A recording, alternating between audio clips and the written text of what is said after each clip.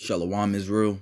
I want to give all praise, and glory to Yahweh, Bahashim, Yahweh Shai, Bahashim Rakakwadash, double honors to the apostles and elders of Great Millstone, and Shalom to the elect. And today's lesson is going to go into um being overwhelmed. You know, and um I primarily want to go into the book of Psalms, the 61st chapter. All right.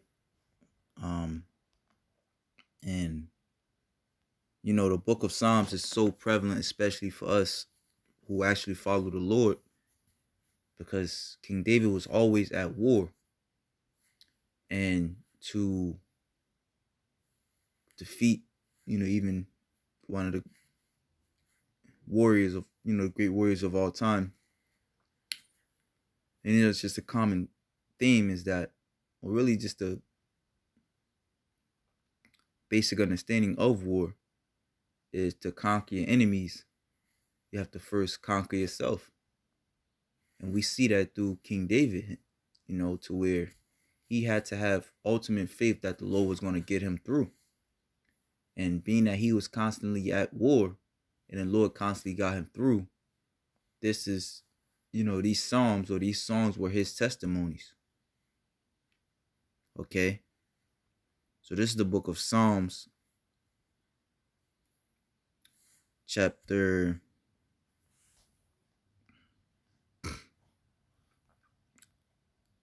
Psalms chapter 61 verse 1 you know we can const we can relate because we're constantly at war you know?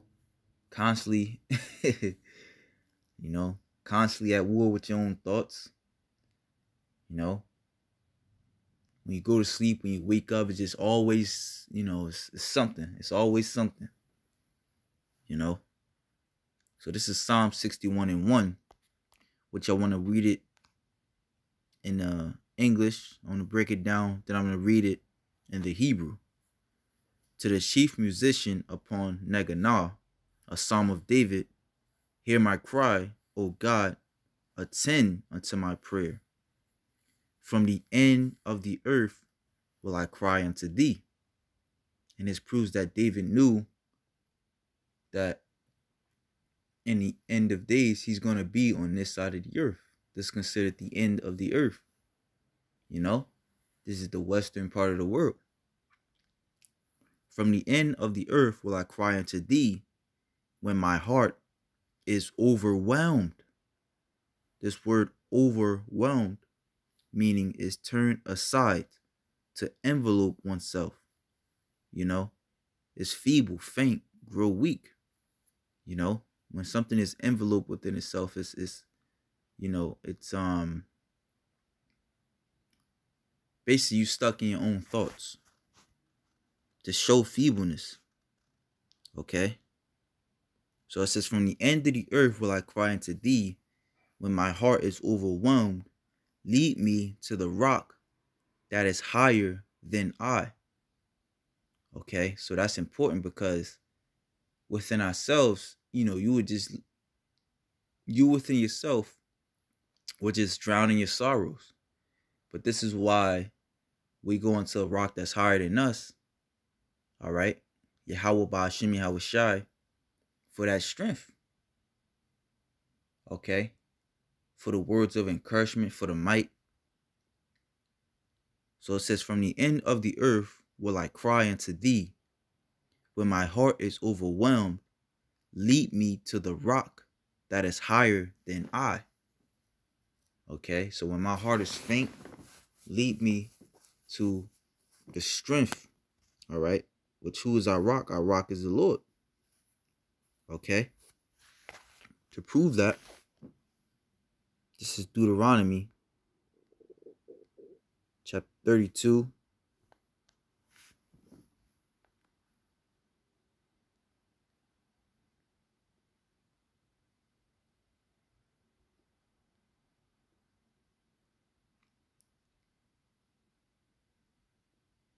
Verse 3 Because I will publish the name of Yahweh Ascribe ye greatness unto our power.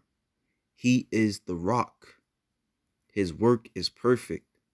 For all his ways are judgment, a God of truth, and without iniquity, just and right is he. Okay. Just back at Psalms 61 and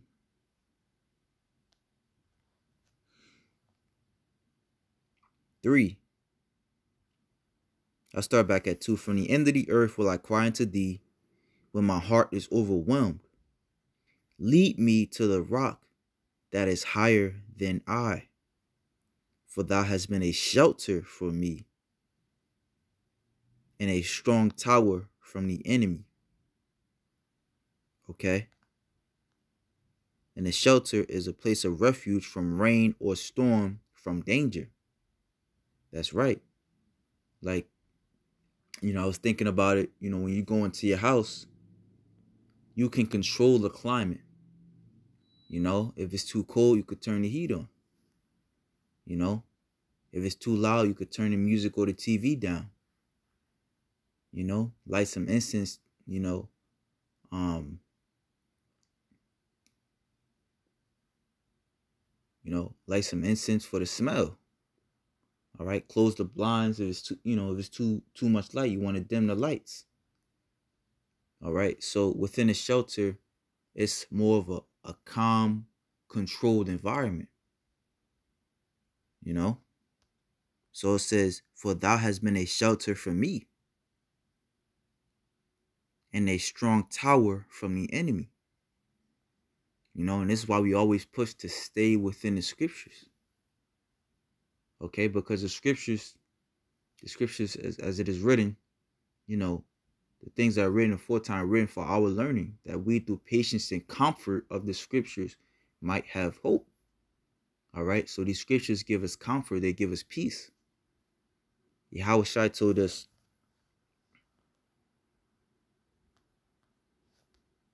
Let's grab that. John chapter 14, verse uh this one.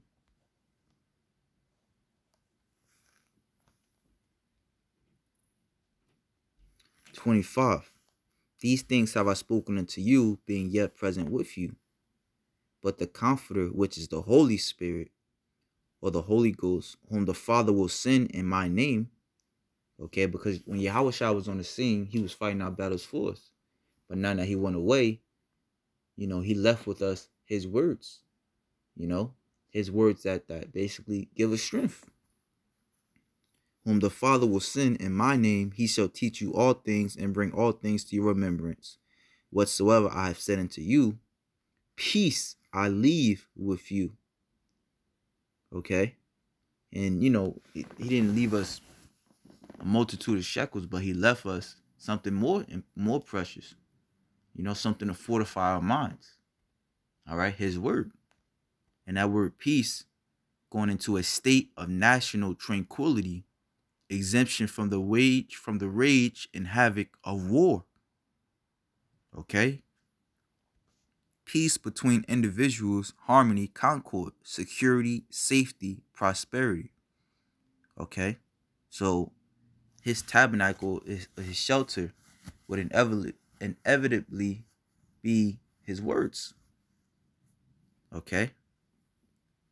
Peace I leave with you, my peace I give unto you. Not as the world giveth, give I unto you. All right, not temporal, but everlasting.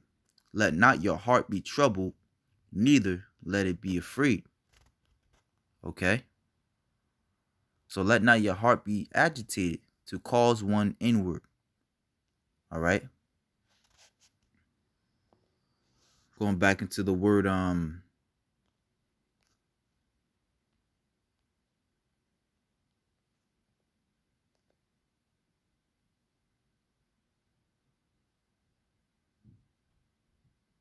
overwhelmed.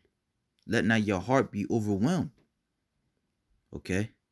So it says, For thou hast been a shelter for me and a strong tower from the enemy. I will abide in thy tabernacle forever. I will trust in the covert of thy wings, Salah. For thou, O God, hast heard my vows, that has given me the heritage of those that fear thy name. Okay? And ultimately, the heritage of those that fear thy name is everlasting salvation. No matter what situation, you know, you're going to be in, eventually the Lord is going to come through. You know? I was thinking about the one, um, there's a precept in Sirach. Is that 1 in 29?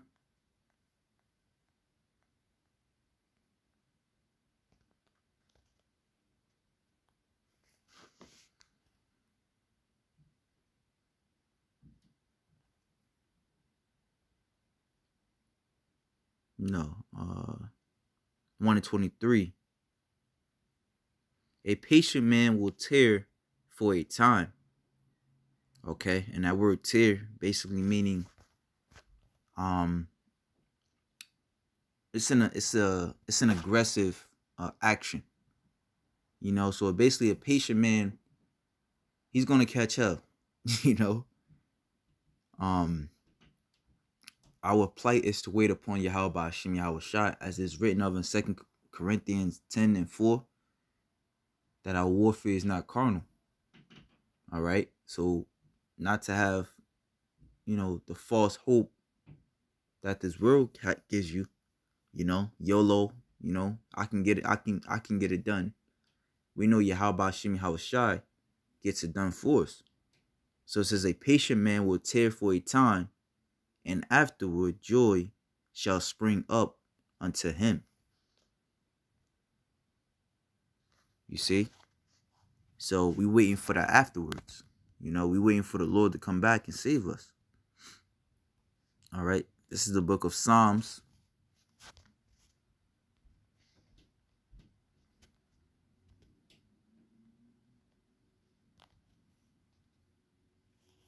Chapter 29, verse 11. Yahweh will give strength unto his people. Yahweh will bless his people with peace. Okay. And he did that with Yahweh Shai. And Yahweh Shai gave us the peace. He gave us his word. All right. And he gave us the understanding of his word. You know, and it's really a blessing when we go into these words and, you know, you you out there in camp or just, you know, on your day to day going into the scriptures and actually understanding what it says. That's that's you know, a lot of people don't understand a lot of people don't and they won't. Okay. This is the book of uh man, what was I um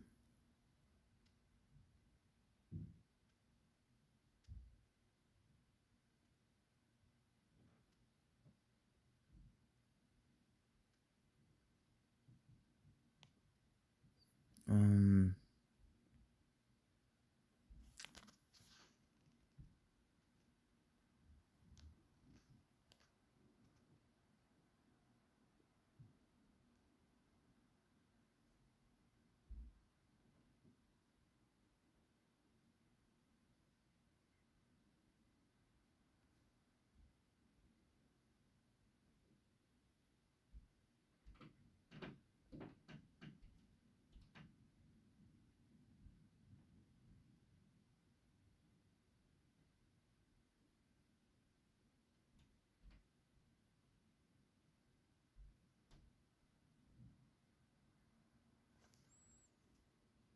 Trying to find this other preset.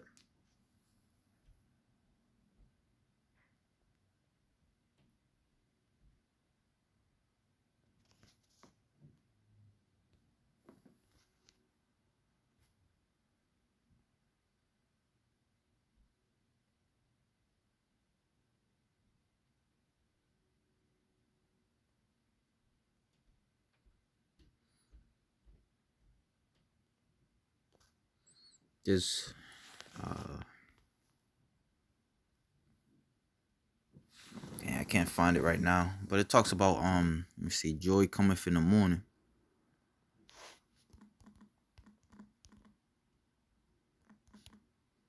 And that's why we so gun ho too on uh ushering the return of Yahweh Shai because he's our joy. You know, our battles will definitely be won at the appearance of Yahweh just as, you know, they were, we didn't have to, we didn't have a care for him when he was on the scene. You know, and even though it's going to be harsh, you know, it's going to be scary, we know we have an eternity of peace waiting for us. Okay? An eternity of tranquility. All right? And Yahweh Shah said in first First Corinthians 15 that the last enemy that shall be destroyed is death. All right? He said that through the mouth of the Apostle Paul. Okay? Death first and foremost in these bodies. And then also under the man of sin. Psalms 30 and 5. For his anger endureth but a moment. In his favor is life. Weep. In his favor is life. Okay? Weeping may endure for a night, but joy cometh in the morning. Okay? morning break of day. Who represents the break of day? Okay, when the sun come up is Yahweh Shai. The scriptures call him the day star. All right, what is the day star? The sun, the sun. Okay.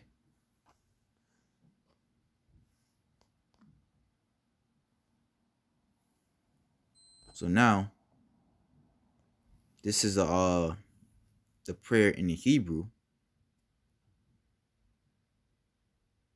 and I also, you know, wrote a, small prayer for myself. So uh, as you see, it says Shemai, Allahayim, and um, you know, it's good to sing it too. So prayer for being overwhelmed, Psalms 61 and 1.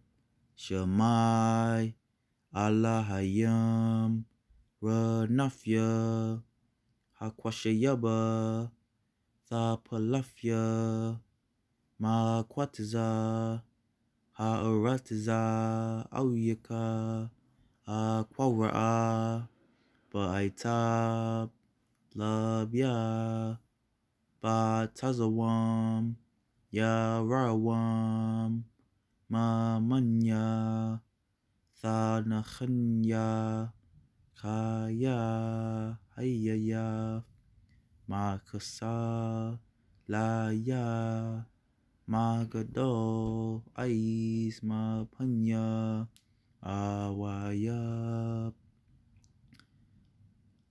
And it says um as you see this is the quick prayer I said it you know I wrote down as well look um Ra'ah Nanaya Wa Aimauya wa Ranafia, wa Cha'awasha, La Hatazona Ya, Babakusha, Babakusha, Babakusha, the water to Wab.